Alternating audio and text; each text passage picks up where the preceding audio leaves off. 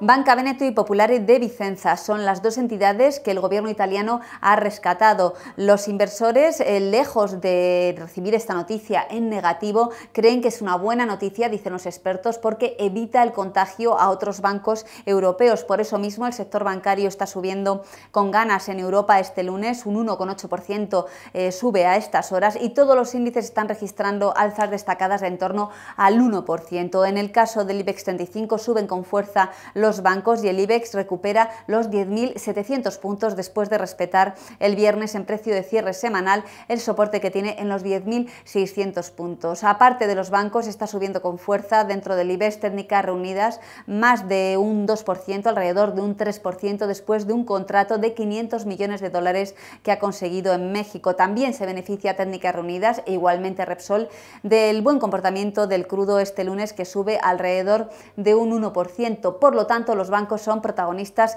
en este arranque de semana y también lo serán en el final de semana, de la última semana del mes de junio, porque este viernes 30 de junio se estrena en Bolsa Unicaja. Los inversores esperan con gran expectación este estreno a lo largo de la semana, en torno al miércoles o el jueves a primera hora, se conocerá el precio definitivo de este estreno que se situará probablemente dentro del rango de precios orientativo entre los 1,10 y los 1,40 euros. Esto es lo más destacado en estos momentos. Las bolsas se recuperan, los bancos están tirando y vamos a ver si consiguen seguir las alzas a lo largo de la jornada.